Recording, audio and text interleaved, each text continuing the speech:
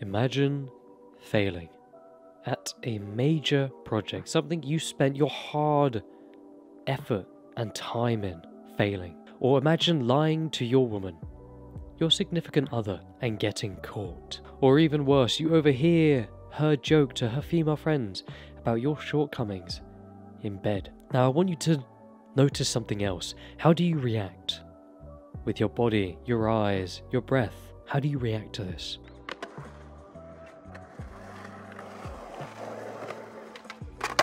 Hey, how are you? I hope things have been good and I hope you've been alright.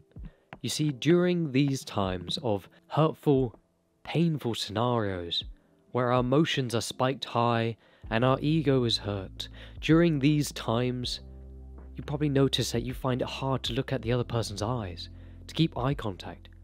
Your chest, your solar plexus becomes tense, almost as if it's quite tight. Your body language becomes contracted, insecure, shy, worried. All of this are signs of an unskillful reaction to hurt. And that is because when your body does this, it becomes a cage. You are unable to think clearly, to think straight and act. You are unable to act when your body is becoming consciously contracting, closing in on itself, tight, tense, worried.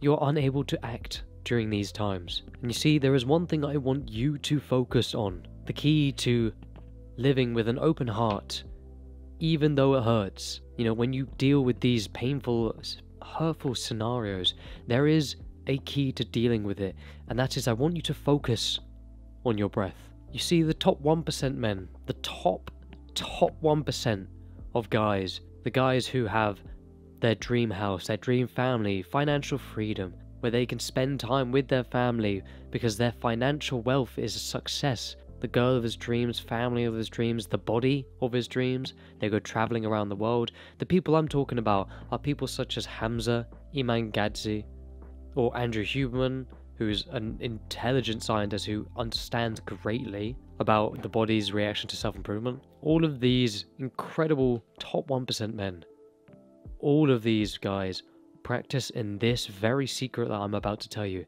and that is during these times of pain, instead of letting your body close up, become tense, contracted, preventing you from being able to think clearly or act, I want you to focus on your breathing. I want you to stare at the other person's eyes during these stressful, painful situations. And I want you to take a big, deep breath through your nose, not down to your chest. I want you to breathe down to your stomach, so your stomach literally rises. Only during these times when you are staring at the other person's eyes, your body is relaxed, you're taking a big, deep breath all the way to your stomach, so your whole body to your stomach becomes relaxed. Only during these times do you give off this aura of confidence and you are able to act. You are able to think clearly. When your body is relaxed, you are relaxed. When your body is tense, you are tense. The top 1% man, he practices in this every single day.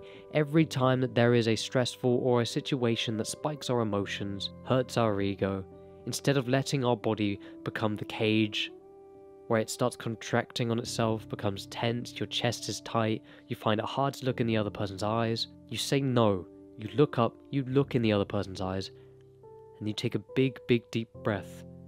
You take a manual breath from your nose all the way to your stomach, so your whole body becomes relaxed. Only when the front of your body is relaxed and open, when your breath is deep and full, your gaze is unguarded and directly connected to the person in front of you, can your fullest intelligence fully manifest spontaneously in that moment. Only then can you properly act and properly think. If you think about it, if you think of the man who is dealing in these stressful situations, these painful, hurtful situations and scenarios, the man who becomes very closed in on himself, can't look at the other person's eyes, his chest is tight, he's stuttering his words. He looks insecure compared to the man, the top 1% man, who brings his shoulders back, who takes a big deep breath, still keeps eye contact, and acts with confidence, is able to even act, and thinks clearly. He does not give off the aura that he's insecure. He gives off the feeling that he's got a skillful reaction to her, that he's a very good hold and control of his life. Hopefully, this helped you out. I hope things have been good and I hope you've been alright. It's been a while since I've done these sort of like one on one chat videos.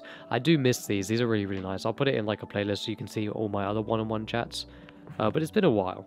I've recently been really getting into the book um, Way of the Superior Man. Absolutely love it. I do recommend you give it a read.